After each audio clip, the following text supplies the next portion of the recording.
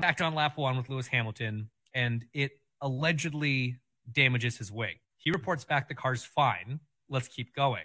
The car behind him is Esteban Ocon. It wasn't even behind him. It wasn't even behind him. A car behind him somewhere was Esteban Ocon.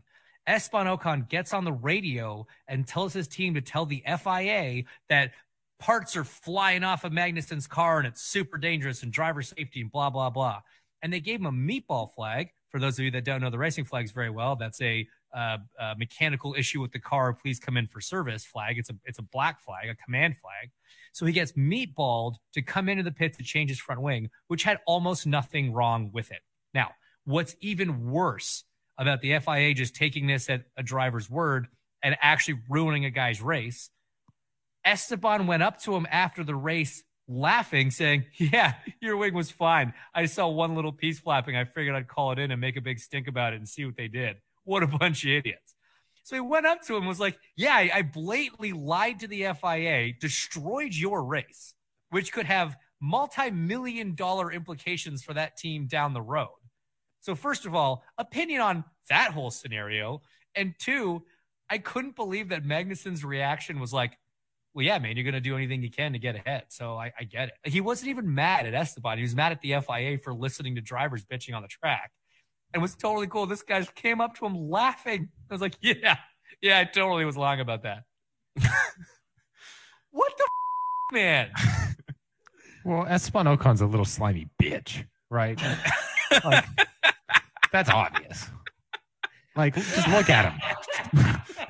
What? I mean, come on. We've had like a low energy oh. kind of meh podcast, and now 42 minutes in, you're just go- all right. Let's go. Let's keep going. I'm gonna cut No. 20 minutes from this. No. I want to hear about why Esteban Ocon's a bitch. Well, he literally just explained it to you. I mean, that a Okay, reason yeah, no, alone. that was a one. pretty good reason. Number yeah. one.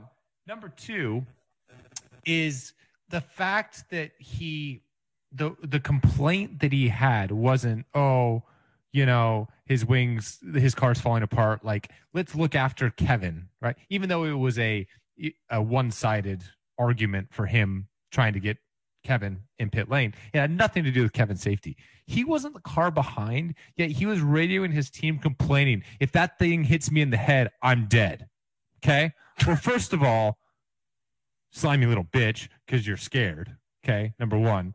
Number two is you're blatantly lying. Okay. You're admitting to it. Three. And four, you're so Yes, I agree on all points. And, and now we have a new, we have a new word that I will always have to bleep now. bitch. Yeah.